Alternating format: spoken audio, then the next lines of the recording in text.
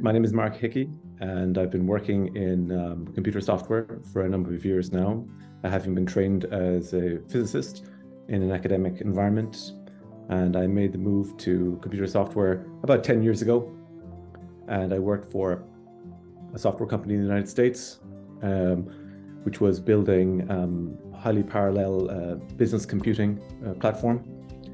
and uh, after that, I went into a work for a, a, corporate, large corporate international bank, investment bank, where I was um, involved in rebuilding an application for delivering files and messages in, um, in the area of custody and funds. And after that, um, I was uh, contacted by Hibernian Recruitment and um, asked if I was interested in getting back into the uh, software computing platform I mentioned, where I was, which, which, I was working at in the United States, and I was very happy to do that and go back into a uh, an area that was very uh, known to me and very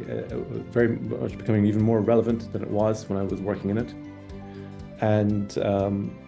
I went to work for a, for a company called SKS in Germany, and that's where I've been doing been for the last month.